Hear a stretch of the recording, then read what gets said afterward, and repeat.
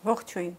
Այսօր Civilnet-ի հյուրն է Հայաստանի ամերիկյան համալսարանի Թրպանջան հանրային առողջապահության ֆակուլտետի դեկան Վարդուհի Պետրոսյանը։ Ողջույն Վարդուհի, շնորհակալություն մեր հրավերն ընդունելու համար։ Վարդուհի, խոսելու ենք կորոնավիրուսից, պատվաստումների իհարկե գործընթացից եւ պայմանականորեն հարցազրույցը բաժանենք 3 մասի, խոսենք արշավի հաղորդակցության մասին, պատվաստումների եւ պատվաստանյութերի մասին եւ բուն բուժման, COVID-19-ի բուժման մեթոդների մասին։ Եթե դեռ մի երկու շաբաթ առաջ, երեք շաբաթ առաջ շատ էր խոսվում պատվաստանյութի բացակայության կամ դրա սուղ լինելու մասին, այսօր կարծես թե պատվաստանյութեր կան, անգամ կա պատվաստանյութերի ընտրություն, բայց գործընթացը շատերի գնահատմամբ ծույլ է ընթանում։ Ինչի հետ է սա կապված։ Եվ դուք համաձայն եք, որ իսկապես այն տեմպերով չի ընթանում, որով որ պետք է ընթանար։ Գիտեք, ցանկացած գործընթաց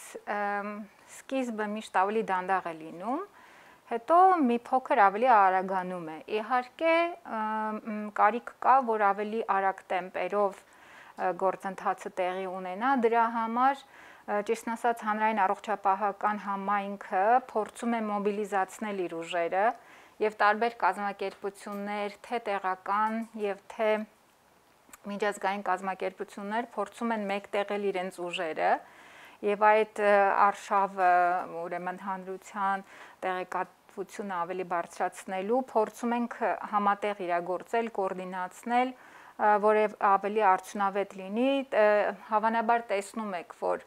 համնային դեպս եւ հերոստացույցով եւ սոցիալական ցանցերով արդեն բավականին նյութեր են պատրաստվել եւ տարածվում են փորձ է արվում նաև հանրահայտություն ունեցող մարդկանց ներգրավել այս գործընթացում, որպեսզի ավելի մեծ վստահություն առաջանա հասարակության կողմից ասեմ սրանց շատ խանգարող հանգամանքներ էլ կան այստեղ ցավոք սրտի եւ քաղաքականությունը եւ բիզնես շահերը հերո չմնացին այս արշավներից որի արդյունքում ցավոք սրտի տուժում են սովորական քաղաքացիները քանի որ գիտեք լսում են տարբեր բնույթի ուրեմն սխալ տեղեկատվություն, ապակա տեղեկատվություն, ուրճացված թվեր վախեցնում են մարդկանց։ Իհարկե որոշ մասը նաև տեղի ունենում անգրագիտության պատճառով, որոշ մասը ուղակի շահարկումների նպատակով, մանիպուլյատիվ նպատակով, բայց ի վերջո տուժում է հանրությունը եւ հանրության առողջությունը պետք է ուղակի փորձել ամեն ինչ անել, որպեսզի մարդիկ ստանան ճշգրիտ տեղեկություններ։ Եվ այստեղ շարունակելով ձեր միտքը, իհարկե մտահոգություններ կան կապված նաև որոշ պատվաստանյութերի, գիտենք, կողմնակի այդ ազդեցության հետ, այդ մասին հաջորդիվ կխոսենք, բայց այսօր ամերիկահայ վիրաբույժ հանրային առողջության մասնագետ Շանթ Շխրտումյանը ասուլիսում բավական հետաքրքիր տվյալներ ներկայացրեց տարածաշրջանում պատվաստումների գործընթացի վերաբերյալ եւ այսպես Ադրբեջանում բնակչության 9%-ը, Թուրքիայում 16%-ը, Ռուսաստանում 8.5, Վրաստանում 1.1 եւ Հայաստանում 0.1 այս ցուցանիշը կրկին ըստ ձեզ պայմանավորված այդ ձեր նշած գործոններով քաղաքականություն, ապա տեղեկատվություն, թե այլ գործոններ եւս։ Նաեւ, նաեւ այլ գործոններ պետք է հաշվի առնել օրինակ մեր հարևան Վրաստանը մեզանից ավելի շուտ է ստացել պատվաստանյութերը այդ COVAX հարթակի միջոցով եւ ավելի մեծ քանակով եւ քանի որ իրենք ավելի արագ են սկսել գործընթացը եւ ասեմ գործընթացը իրանց մոտ սկսվեց նույնիսկ մինչև այդ ապա տեղեկատվության կամ տեղեկատվության որոշակի ուրճացման տեղի ունենալը եւ այդ պատճառով իրենք միանգամից ավելի արագ սկսեցին, հետո տեմպը դանդաղեց ինչպես բոլոր երկրներում ցավոք սրտի բայց հիմա այդ պատճառով է, որ իրենք շուտ են սկսել եւ այդ պատճառով է, որ մեզանից ավելի բարձր թվեր ունեն։ Իհարկե բոլոր երկրներում, սա ոչ միայն մեր երկրին է, ուրեմն մեր երկրում է պատահում, բոլոր երկրներում էլ այդ ուրեմն շահարկումները կան, ապա ապա տեղեկատվությունը կա, բայց միևնույն է մասնագետները պետք է իրենց գործը անեն եւ փորձեն մեր հանրությանը տեղեկացնել Եվ քանի որ դուք նշեցիք մասնագետներին, վերջերս նաև լուրեր են շրջանառվում այն մասին, որ հենց բժշկական համայնքի ներսում կա դիմադրություն, դժկամություն, դուք ինչ տվյալներ ունեք, որքանով են նաև հենց բուն բժիշկները պատրաստ։ Ես այդպեսի տվյալ չունեմ, ճիշտն ասած, ես կցանկանայի նման բաներից խոսելիս օրինակ հարցումների արդյունքում ստացված տվյալներ լինեն, որ ինչ որ մեկի կարծիքը մենք չտարածենք եւ մարդկանց մոտ թյուր կարծիք չստեղծվի, որ մենք հավաստի տվյալներ ունենք այդ մասին։ Հնարավոր է, որ որոշ մարդիկ իրենց ծանոթներին են դիմում այդ մարդիկ թեկուզ եւ լինելով բժիշկ հնարավոր է որ տեղեկացված չլինեն ուրեմն ամենավերջին տվյալներին գիտական տվյալներին որոնք մենք ունենք պատվաստանյութերի վերաբերյալ եւ կարող են իրենք էլ լինելով բժիշկ, եթե ամենավերջին տվյալներին տվյալներից տեղյակ չեն, կարող են ապա տեղեկատվություն տարածել։ Վարդոյ Այո, արշավը կա, տեսահոլովակները նկարահանվում են, հանրային դեմքերին ներգրավում են, դա տեսանելի է այս վերջին օրերին, եւ այդուհանդերձ սոցիալական ցանցերում եւ նաեւ շփումներում հաճախ են հնչում շատ པարզ, նույնիսկ པարզունակ հարցեր, որոնց պատասխանը մարդիկ ոչ տեսահոլովակից են ստանում, ոչ այդ գովազդային նյութերից եւ այլն։ Եթե թույլ տակ այդ հարցից որոշները ես օրինակ հնչեցնեմ։ Մարդիկ շատ հաճախ հարցնում են, եթե ես վերջին 6 ամսվա ընթացքում տարել եմ կորոնավիրուս, արդյոք ես պետք է պատվաստվեմ, թե ես ունեմ հակամարմիններ եւ հետեւաբար պաշտպանված եմ։ Ասեմ, պատասխանը հետեւյալն է, որ գիտական համայնքը որևէ հակացուցում չունի այն մարդկանց համար, ովքեր արդեն հիվանդացել են, Այսինքն իրենք երբ որ կարանտինից դուրս են գալիս, իզոլյացիայից դուրս են գալիս, արդեն իրենք կարող են ստանալ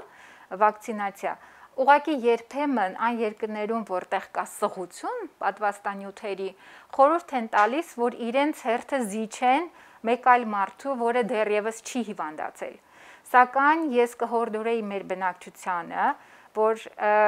իրենք չգնան եւ անալիզներ չտան հակամարմինների, որpիսի որոշեն պետք է իրենք ստանան պատվաստումը թե ոչ։ Քանի որ այդպիսի գիտական տվյալ գոյություն չունի, որը առաջարկում է ստուգել ստուգել հակամարմինները եւ նոր որոշում ընդունել, արդյոք պետք է ստանան պատվաստում թե ոչ։ Այդպիսի բան չկա։ Շահարկումներ կլինեն, որտեվ գիտեք, մարդիկ գումար են ծախսում վերջի վերջո, երբ որ օգտվում են լաբորատոր ծառայություններից եւ այդ տեստերը հանձնում են եւ իրենք փոքր գումարներ չեն։ Այնպես որ այստեղ կա նաեւ բիզնես շահ, որ մարդիկ գումար ծախսեն եւ այդ տեստերը հանձնեն։ Սակայն գիտական տվյալներ, որոնք առաջարկում են նման տեստերի հանձնելը անհատի մակարդակով այս պայն գոյություն չունի նման։ Այսինքն, եթե դուք տարել եք COVID-19, դա դեռ չի նշանակում, որ դուք պետք չպետք է պատվաստեք։ Այո, այո, որևէ հակացություն չկա, հակառակը կա ուրեմն առաջարկ, որ իրենք նույնպես պատվաստվեն, որpիսի օրգանիզմում ավելի ուժեղ իմունիտետ լինի, քանի որ գիտությանը նորից հայտնի են կրկնավարակի դեպքեր։ Այսինքն եղել են դեպքեր, երբ որ մարդիկ մեկ անգամ հիվանդացել են, սակայն որոշ ժամանակ անց տարբեր ամիսներ են շրջանառվում, միջինում մոտ 3 ամիս անց արդեն հնարավոր է պատահել կրկնավարակ։ Դրանից խուսափելու համար առաջարկ կա, որ բոլորը անկախ նրանից հիվանդացել են թե ոչ, եթե կա հնարավորություն պատվաստվելու, ապա օգտվեն առիթից եւ պատվաստվեն։ Եվ մյուս հարցը, պատվաստվեցինք, որքան ժամանակ է մարդը պաշտպանված, որքան ժամանակ է արդյունավետ եւ աշխատում պատվաստանյութը։ Այո, այդ հարցին հստակ պատասխան նույնպես չկա, քանի որ դեռևս այդ կլինիկական հետազոտություններից հետո քիչ ժամանակ է անցել 6 ամիս անցել եւ մարդիկ հստակ գիտեն, որ այդ 6 ամիսների ընթացքում պաշտպանվածություն տալիս է։ Որոշ գիտնականներ մոդելավորումներ են արել, այսպիսի թվեր են հնչում մոտ 2 տարի կարող ենք վստահ լինել, որ կա կլինի պաշտպանվածություն, բայց ժամանակ պետք է անցնի, որ մենք հստակ ապացույցներ ունենանք, որ այն իմունիտետը, որ պատվաստման արդյունքում ձեռք ենք բերում, այդքան ժամանակ կարող է տևել այս կ ូវ իդի համավարակը մի բան ցույց տվեց, որ քանի որ ինքը նոր հիվանդություն է, նոր վիրուս է, մարդկությունը, գիտնականները շատ բաներ չգիտեին։ Իհարկե այս 1 տարվա ընթացքում ահռելի գիտելիքներ են կուտակվել, բայց դեռևս կան բաներ, որ մենք կարող է մեզ համար նորություն լինել եւ ես կխնդրեի մեր հանրությանը պատրաստ լինել որ որոշակի փոփոխություններ լինեն։ Այսինքն փոփոխությունը ոչ թե նայել որպես վատ բան, եթե կա քաղաքականության փոփոխություն, այլ ընդհակառակը Այսինքն որոշում կայացնողները այնքան ճկուն են, որ հետևում են ամենօրյա կտրվածքով, թե ինչ նոր լուրեր ենք ստանում գիտնականներից եւ ըստ այդմ են կայացնում որոշումներ։ Սրան պետք է ավելի հանգիստ ուրեմն վերաբերվել եւ ընդհակառակ ուրախանալ, որ մենք կարող ենք ճկուն քաղաքականություն վարել։ Անդրադառնալով ձեր այդ դիտարկմանը, որ ահռելի աշխատանք է կատարվել շատ կարճ ժամանակահատվածում, այդ մասին բոլորն են ասում, ուզում եմ խոսել նաև մտահ հիմա ավելի կոնկրետ մտահոգությունների մասին, որոնք առաջանում են մարդկանց մոտ, դե մեկ պատվաստանյութերից մեկի կողմնակի ազդեցություններն են տրոմբոզի դեպքերը, որոնք գրանցվեցին Եվրոպայում։ Եվ այսօր կարծես թե կա ընտրություն, բայց միևնույն է չեն ուզում, որովհետև կան տրոմբոզի դեպքեր։ Կուզեի այս մասին խոսենք եւ մյուս հարցը, մյուս մտահոգությունը, ինչպես ասացի, այն հանգամանքը, որ արդյոք հնարավոր է շատ կարճ ժամանակահատվածում ստանալ լավ պատվաստանյութ, որն իսկապես որակյալ է եւ ապահով։ Սկսեմ վերջից լավ պատվաստանյութ ստանալ կարճ ժամկետներում հնարավոր է գիտության զարգացման շնորհիվ եւ նաեւ տարբեր կազմակերպությունների ջանքերի մեկտեղման շնորհիվ։ Այսինքն, եթե սովորական այլ պատվաստանյութեր ձևավորելիս այսպիսի հրատապություն չի եղել, կազմակերպությունները այսպես չեն համագործակցել, որ գործընթացը ավելի արագ լինի այդ պատճառով կարող էին տևել տարիներ։ Այսինքն նաև բյուրոկրատիան եւ այլն։ Միանշանակ, քանի որ սա դեղերի հետ կապված գործընթացները շատ-շատ բյուրոկրատական գործընթացներ են իրենցից ներառում, Այստեղ ուղակի համաձայնության են եկել, որպեսի հնարավորինս արագ, քանի որ տեսնում եք համավարակ է, որը այնպիսի մասշտաբի է հասնում, որ ամենակիչը վերջին 100 տարվա մեջ մարդկությունը չէր տեսել, եւ ելնելով դրա այդ հանգամանքից է, որ մենք կարողացել ենք արագ քայլեր կատարել։ Բացի այդ գիտությունը առաջ է շարժվում եւ գիտեք, որ որոշ պատվաստանյութեր բոլորովին նոր մեխանիզմներ են օգտագործել իրենց հիմքում ունենալով օգտվելով այդ մեծ տվյալների բազաներից արեստական ինտելեկտի հնարավորությունները օգտվելուց եւ այդ պատճառով է որ կարողացել են եւ որոշակի աշխատանքներ արդեն սկսվել էին երբ որ առաջին SARS-ը տեղի ունեցավ, այսինքն այս վիրուսի նման մեկ այլ վիրուս, որ ծանր շնչառական հիվանդություններ էր առաջացնում հիմնականում որոշ ասիական երկրներում, դրանից հետո արդեն աշխատանքներ սկսվել էին այդ պատվաստումների ձևավորման ուղղությամբ։ Եվ դրա հիմքի վրա է կառուցվել այդ է պատճառը նաև Այսինքն զրոյից չեն չի սկսվել Այո, միանշանակ զրոյից չի սկսվել, այսինքն այդ վիրուսների նմանությունը այստեղ այն առումով օգտակար եղավ, որ գործընթացը նույնպես արագացավ։ Կան նաև պատվաստանյութեր, որոնք նախկինում ընդունված մեթոդիկայի վրա են ստեղծվել,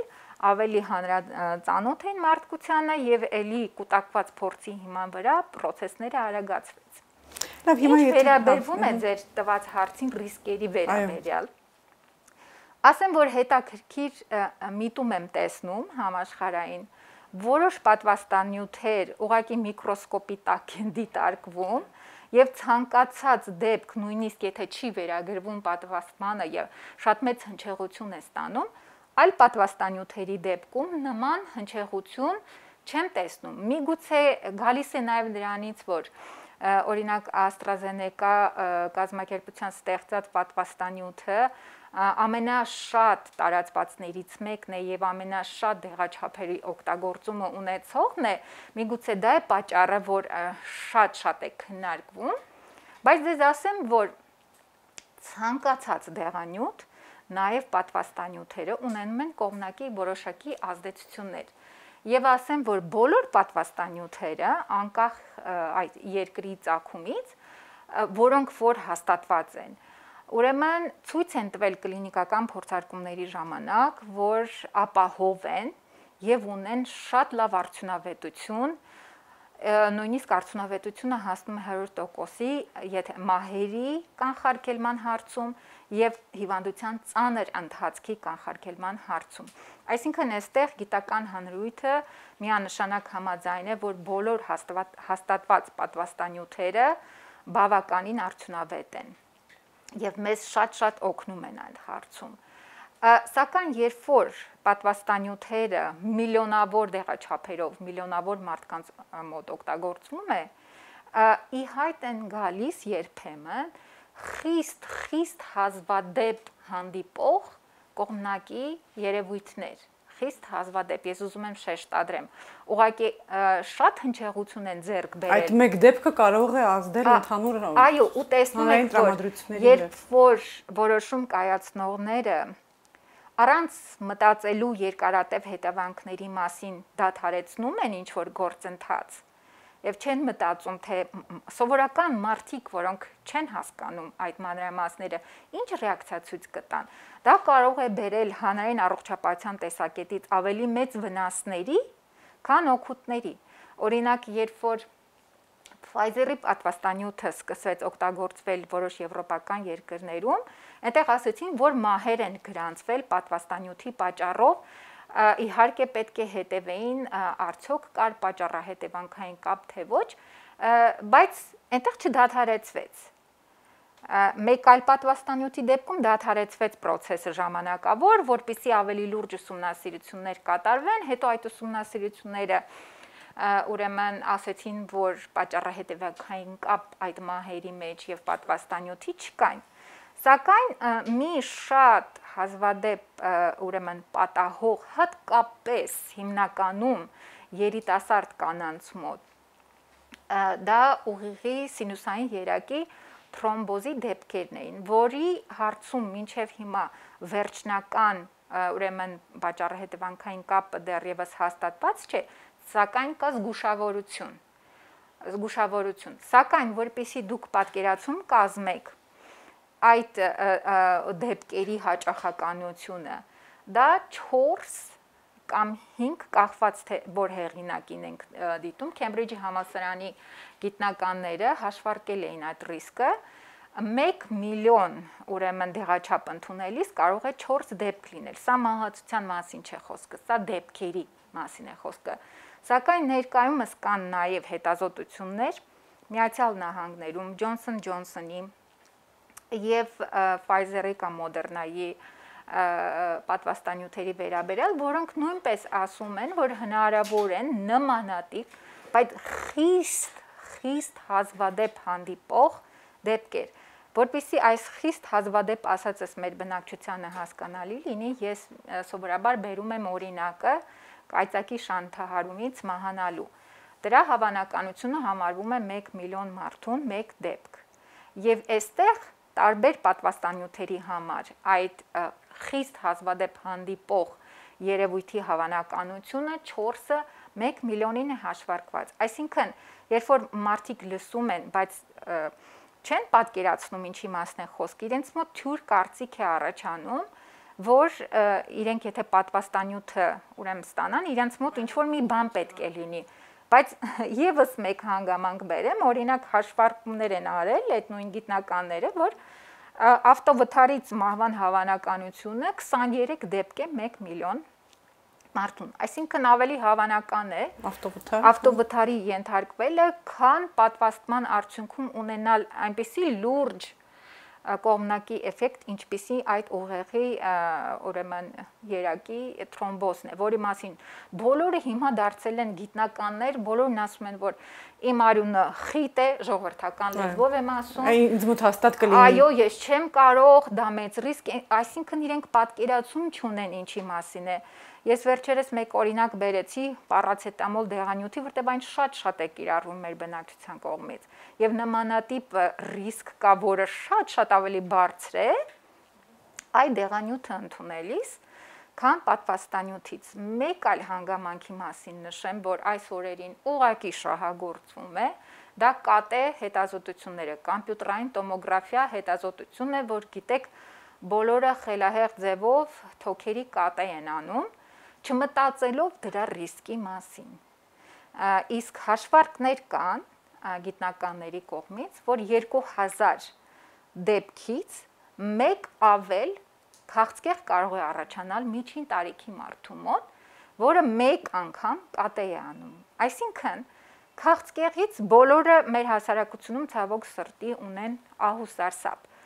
որը նույնպես համարում եմ սխալ, քանի որ եթե ճիշտ ենք մոտենում հարցին եւ կա վաղ ախտորոշում, եւ ճիշտ բուժման միջոցով կամ նույնիսկ այլի պատվաստանյութերի միջոցով հնարավոր է առաջնային կանխարգելում անել կամ եթե վաղ են հայտնաբերվում նորից կարելի է հասնել 100 մինչև 100%-ին հասնող ապրելիության այստեղ պետք չէ սարսափել, բայց մի բան, որից մեր ժողովուրդը սարսափում է, հաշվի չեն առնում այդ ռիսկը, բայց ավելի շատ վախենում են ինչ որ հիպոթետիկ ռիսկից իմ գործընկերներից ոմանք շատ լավ օրինակ բերեցին, որ երբ որ մարդը հիվանդ է, այնտեղ ընտրություն չունի եւ ավելի հեշտ է այդ ռիսկը ընդունում, բայց երբ որ կանխարգելիչ միջոցառում է, այդ վախը ցավոք սրտի ավելի մեծ է։ Դուք հետաքրիր բան նշեցիք, որ որոշ պատվաստանյութեր միկրոսկոպի տակ կարծես ուսումնասիրեն, իսկ մյուսների հանդեպ անուններ ես չեմ նշում, կա կարծես լրելիային վստահություն, գրեթե 100% վստահություն։ Արդյոք այստեղ գործ ունենք որոշ պատվաստանյութերի դեպքում թափանցիկ հաշվետվողականության հետ, թափանցիկ աշխատանքի հետ, մյուսների դեպքում գուցե դեպքերը կան, բայց դրանց մասին չի հաղորդվում, դա չի հրապարակվում եւ ստանում ենք այն պատկերը, որը ունենք։ Չեմ կարող ասել, քանի որ նման գիտական տվյալ ես չեմ տեսել ցանկացած գիտական հոդվածներ խոսում են այն մասին, որ այն պատվաստանյութերը, որոնք այսօր ստացել են հավանություն, իրենք ապահով են ապահովություն, որտեղ երկու տեսակետից ենք նայում՝ ապահովություն առաջնահերթ եւ արդյունավետություն։ Սակայն ես երբեմն զարմանում եմ, թե մարդիկ որտեղից են այս վերջերս ինձ ասեցին, որ պատվաստանյութը մեր հին է։ Այսինքն ժամկետ անց չգիտեմ ինչ աղբյուրներից են այդ ինֆորմացիաները մարդիկ ստանում։ Միգուցե այս սոցիալական ցանցերի ակտիվացումը նույնպես իր լավ կողմերով հանդերձ բերում է վատ արդյունքներ երբեմն, քանի որ այդ ապա տեղեկատվությունը շատ արագ է տարածվում։ Ես ձեզ ասեմ, եթե դեղանյութը այս դեպքում պատվաստանյութը ասված է, որ մայիսի վերջ մինչև ինքը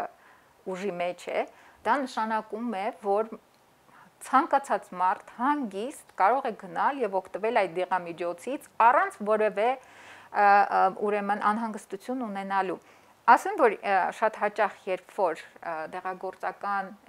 կամպանիաները գրում են այդ ժամկետը վերջնաժամկետը իրենք երբեմն ուղակի նայում են թե ինչքան ժամանակ են իրենք ուսումնասիրել որ այսքան ժամանակ մենք նայեցինք դեղանյութը չի փչացել եւ այդ ամսաթիվն է վրան գրվում ուզում եմ ասեմ որ պետք չի սխալ ինտերպրետացիա տալ երբ որ կա ժամկետ ընդհակառակը պետք է ուրախ լինել, որ համակարգերը մեր այնքան թափանցիկ են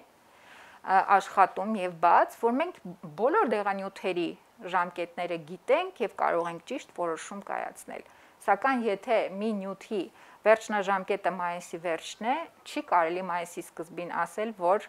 այն հնացած է։ Ես ինքս պատվաստվել եմ այդ պատվաստանյութով եւ որևէ անհանգստություն չեմ ունեցել։ Մեկ այլ հարց, որի մասին թռուցիկ խոսեցին կրկնավարակները, վերջերս կրկին ամերիկահայ բժիշկների հետ այստեղ փակ քննարկում ունենք եւ նրանք զարմանք էին հայտնում առ այն, որ ինչպես է հնարավոր, որ 40 միլիոն բնակչություն ունեցող Կալիֆոռնիայում, եթե չեմ սխալվում, գրանցվել էր մոտ 2 տասնյակ, մինչև 2 տասնյակ կրկնավարակի հաստատված դեպք, իսկ Հայաստանում առնվազն հաղորդվել է, եթե չեմ սխալվում, 200 դեպքի մասին, այսինքն փոքր բնակչություն ունեցող ինչ ինչ է տեղի ունենում արդյոք սխալ թեստավորում է սխալ հաղորդագրություն է ամեն ինչ հնարավոր է մի քանի դա բազմա էլեմենտ բազմաշերտ խնդիր է տեսեք որպեսի համոզվենք որ կա կրկնավարակ պետք է արվի սեկվենավորում առաջին դեպքի երկրորդ դեպքի եւ դա հնարավոր է որ տարբեր ենթատեսակներով վիրուսի լինի կրկնավարակ եւ որոշ երկրներում այդ հետազոտությունները արվել են եւ ապացուցվել է, որ լինում են ոչ հատ հաճախ, բայց լինում են կրկնավարակի դեպքեր։ Սակայն այն ինչ որ մեզ մոտ ներկայումս արվել է, դա ուղակի նույն մարդու մոտ երկրորդ անգամ դրական ՊՇՌ տեստի արդյունք է գրանցվել։ Ինչ որ երկարատև ժամանակ անց։ Այո, հիմնականում ասում են 3 ամիս անց։ Ճիշտ ասած, քանի որ մենք չունենք տվյալներ, արդյոք երկրորդ անգամ երբ որ հայտնաբերվել է դա եղել է մեկ այլ ենթատեսակով վարակ Արդյոք դա եղել է օրգանիզմում վիրուսը կար եւ իմունիտետի թուլացման պատճառով ակտիվություն ցուցաբերեց։ Մենք օրինակ չգիտենք այդ տվյալներին դեռ չենք տիրապետում վիրուսների մեծ մասը բուժվում է, վերանում է օրգանիզմից, բայց կան վիրուսներ, որոնք կարող են տարիներ անց իրենց զգացնել տան։ Օրինակ ես գիտական անունները չբերեմ, բայց ջրծաղիկին բոլորը շատ ծանոթ են։ Ջրծաղիկի վիրուսը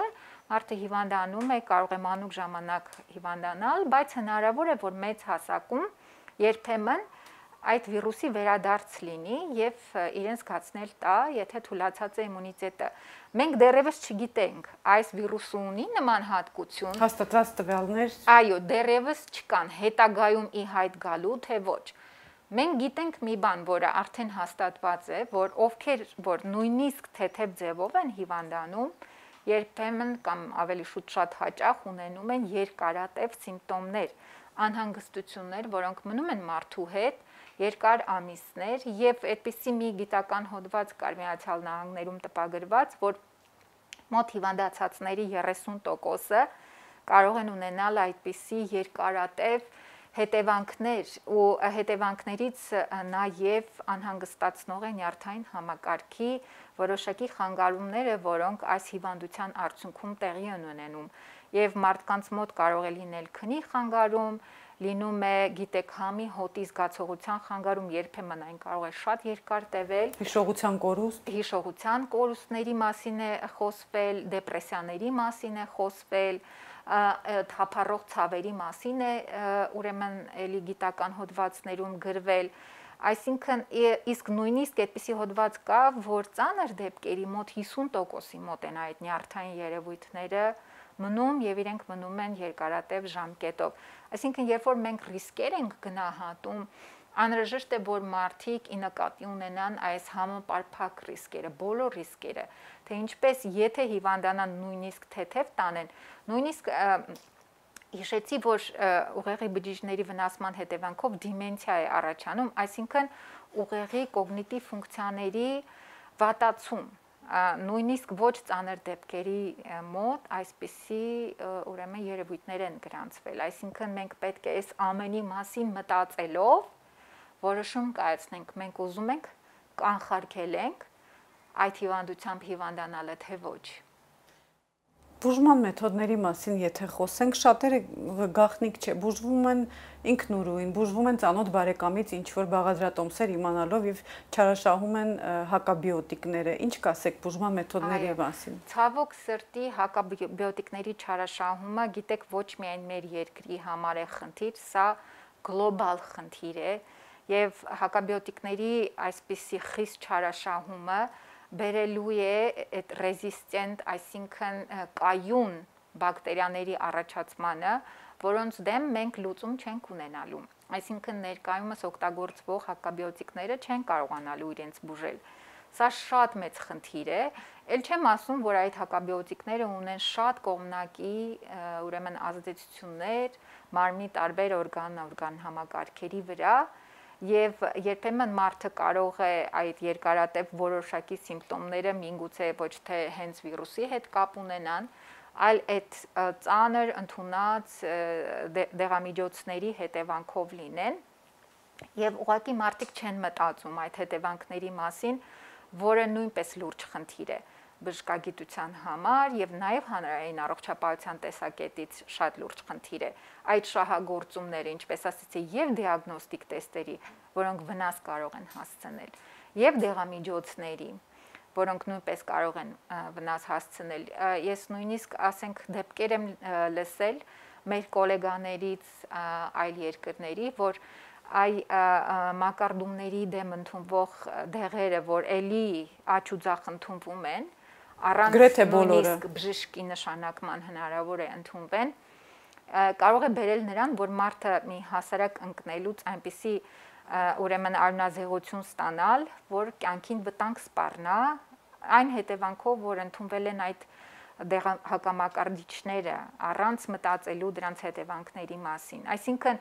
ցանկացած դեղամիջոց, իսկ այս դեպքում բուժման ժամանակ օգտագործվող այդ դեղամիջոցների կողմնակի էֆեկտները շատ-շատ ավելի ծանր են եւ կարող են վնաս պատճառել առողջությանը։ Նաեւ եթե հաճախ լսում եք հորմոնալ պրեպարատների չարաշահումներ են գնում, հոդվածները, որոնք տպագրվել են այս ուրեմն դեպքում, ասում են, որ ինքը օգտակար է միայն ծանր, ծայրահեղ ծանր դեպքերում։ Այսինքն մահերի հաճախականությունը կրճատում է, բայց նաև այդ նույն հոդվածը ասում է, որ թեթև դեպքերում նշանակումը այս դեղամիջոցի վնասում է, ընդհակառակը ավելի վատ արդյունքների է բերում, որտեղ ընկճում է մարդու իմունային համակարգը։ Բայց ելի ես հաճախ եմ նկատում, որ երիտասարդ մարդկանց, ովքեր ծանր չեն տանում այդ հիվանդությունը, իրենց նույնպես նշանակվում են ոչ միայն ներերակային հակաբիոտիկներ, այլ նաև այդ հորմոնալ պրեպարատները, այդ պատճառով է, որ նաև շատերը դժգոհում են ֆինանսական բեռից։ Քանի որ այստեղ եւ ոչ լավ գիտերիքների իրավիճակն է համակցված ֆինանսական շահի հետ։ Եթե կա շահ, եթե մարդիկ ավելի շատ տեստեր հանձնեն, եթե կա շահ, որ մարդիկ ավելի շատ դեղեր գնեն, այդ բիզնես շահը երբեմն ավելի ուրեմն ցավոք սրտի առաջատար է լինում բերելով մարդկային առողջության վնասման։ Հասկանալի ինչպես դուք էլ նշեցիք, որ վիրուսը նոր է, որևէ մեկը 100%-ով պատրաստ չէ, այդ թվում Հայաստանը, բայց անգամ մեր զրույցի ընթացքում այսքան թերացումներ առանձնացրեցինք չարաշահում, հակաբիոտիկների, կատեի եւ այլն։ Արդյոք այս բոլորը ինչ որ միտեղ ամփոփ ձևով կարող է հավաքագրվել եւ այնուհետեւ ուղեցույցի պես ներկայացվել օրինակ առողջապահության նախարարությանը, որպեսզի արդեն բուժ հիմնարկներն առաջնորդվեն այս ուղեցույցներով ինտեգրել այս ամենը բուժման արդեն արված է եւ գիտեմ ըստ իմ տեղեկությունների մեր առողջապահության նախարարությունը սերտորեն համագործակցում էր առողջապահության համաշխարհային կազմակերպության հետ այդ պրոտոկոլները մշակելու համար, որպիսի չարաշահումներ չլինեն։ Եվ դրանք հիմնականում ներդրվում են բուժ հաստատությունների կողմից Սակայն այսօր եթե նկատած լինեք մասնավոր բժիշկներ են հայտնվել, որոնք կոവിഡ്, այսպես ասած, ծառայություններ են մատուցում եւ քանի որ մարդիկ սիրում են, երբ որ ուժեղ դեղեր են նշանակվում, նույնիսկ կա այդ պլացիբո էֆեկտը ես շատ եմ լսել, որ մարդն ասում է, այ ներարկումը ստացա, ինձ լավ զգացի պետք է հիշել, որ մենք գործ ունենք վիրուսային վարակի հետ եւ նամանավան նախնական շրջանում հակաբիոտիկը չի կարող վիրուսային վարակին օգնել, ընդհակառակ կարող է ընկճել իմունի իմունիտետը եւ ավելի բարթացնել իրավիճակը, բայց մարդիկ մտածում են, որ իրենք ներարկում ստացան, ուրեմն այ հիմա ավելի լավ կզգան եւ երբեմն մարդիկ իրենք են գիտեք ստիպում բժիշկներին ավելի լուրջ դեղորայք նշանակելը, քանի որ իրենք վախենում են, պանիկայի մեջ են եւ տեղյակ չլինելով վնասների մասին, երբ դա գիտությանը շատ հայտնի բան է, շատ տարբեր հետազոտություններ ոչ միայն մեր երկրում արված, այլ տարբեր տարբեր երկրներում արված կա այդպիսի բան, որ նաեւ հիվանդը կարող է պահանջել, որ իրեն անտիբիոտիկ նշանակեն օրինակ։ Եվ սա իհարկե առանձին մի մեծ զրույցի թեմա է, բայց զրույցի սկզբում նշեցիք, որ նաև անգրագիտությունն է շատ հաճախ, այսինքն մենք հասկանում ենք, որ կրթական համակարգն է նաև կաղում, գիտելիքների պակասն է նաև վերել այս իրավիճակի, ինչ է արվում կամ ինչ պետք է անել իրազեկվածության մակարդակը բարձրացնել այս ամենը, այս գիտելիքը ինտեգրել նաև կրթական համակարգի մեջ։ հա, Գիտեք, այստեղ սա մի միակ դեպքն է երևի, որ կրթական համակարգը ավելի ոչ ուղակի ազդեցություն ունի, քանի որ ինքը նոր վիրուս է, դժվար է պատկերացնել, որ նույնիսկ բժշկական կրթությունը կարող էր տրամադրել ճիշտ տեղեկատվություն այս վիրուսի մասին եւ ինչպես նրա հետ վարվել։ Այսինքն այս դեպքում արդեն էֆեկտը անուղակի է եթե մարդը կրիտիկորեն քննադատաբար չի մոտենում իրեն ներկայացված ինֆորմացիային, այս դեպքում կարող են իրենք տուժել, այսինքն իրենց ներկայացվի չգիտեմ, ինչ որ մի հարևանի անձնական կարծիք եւ այդ մարդը իր որոշումը կայացնի այդ սխալ գիտելիքի հիման վրա։ Դրա համար իմ հորդորն է, որ մարդիկ ուղակի ուշադրություն դարձնեն իրենց համար ընտրեն վստահելի մասնագետներ, եւ այդ վստահելի մասնագետների ասացին ուշադրություն դարձնեն, մասնագետներ, որոնք շահերի բախում չունեն ոչ մի դեպքում։ Օրինակ հանրային առողջապահության մասնագետը որևէ դեղորայքից, դեղամիջոցից կամ տեստերից կախվածություն չունի կամ գումարներ չի աշխատում եւ դա օգնում է մեզ լինել բացարձակ անկախ եւ միայն ուշադրություն դարձնել գիտությանը ներկայումս մեզ հայտնի գիտելիքներին եւ ես կհորդորեի որ մեր բնակչությունը ուղակի ուշադրություն դարձնի այ հենց գիտնական մարդկանց ում կարծիքը հիմնված է այսօր մեզ հայտնի լավագույն գիտելիքների վրա։ Շնորհակալ եմ մեզ հյուրընկալվելու եւ կարեւոր տեղեկություններ հաղորդելու համար։ Շնորհակալություն հրավիրելու համար։ Հույս ունեմ, որ այս զրույցների միջոցով նույնպես մենք մեր բնակչությանը տեղեկացնենք ճիշտ գիտելիքներ։ Հիշեցնեմ Civilnet-ի հյուրներ Հայաստանի ամերիկյան համալսարանի Թրպանջյան հանրային առողջապահության ֆակուլտետի դեկան Վարդուհի Պետրոսյանը։